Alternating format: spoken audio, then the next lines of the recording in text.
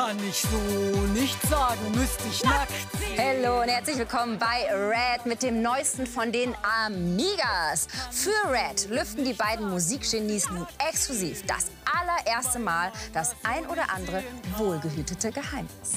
Ach, doch mal Die Amigas. Auf der Bühne begeistern die beiden Schwestern Millionen. Aber was die wenigsten wissen, der Erfolg war den Zwillingen nicht in die Wiege gelegt. In bescheidenen Verhältnissen am Stadtrand von Urerkenschwick aufgewachsen, sind die beiden seit der Geburt unzertrennlich. Aber bis heute weiß niemand, wer von den beiden Zwillingen eigentlich die ältere ist. Wir sind exakt gleich alt. Auf die Sekunde genau. Das war damals nicht schön für die Mama. Nee, nee. Aber auch solchen Schicksalsschlägen begegnen die beiden Schlagerköniginnen mit einem Lächeln.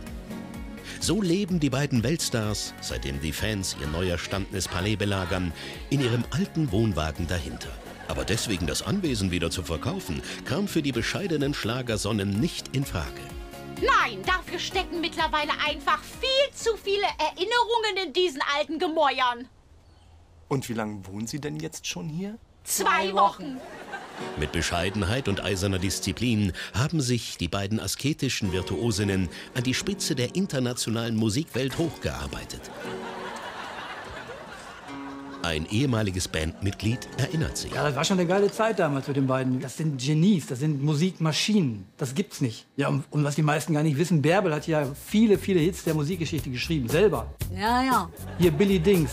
Ja, ja. Oder hier von Queen, We Will Rock You. Das, das kam, weil die Wohnwagentür geklemmt hat.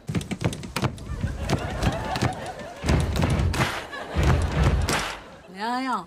Wir machen ja alles selber.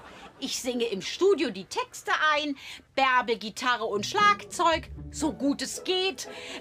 Und den Rest programmiert unsere Neffin am Computer, die Hildegard. Die wird morgen sieben.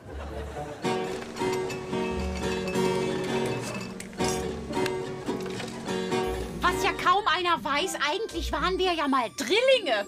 Der dritte kam aber erst zwei Wochen später. So ein kleiner, dicker Grieche. Eine ganz linke Sau. Ist aber schon mit zwei von zu Hause abgehauen und arbeitet jetzt beim Finanzamt.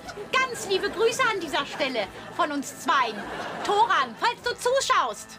Bärbel winkt doch auch mal.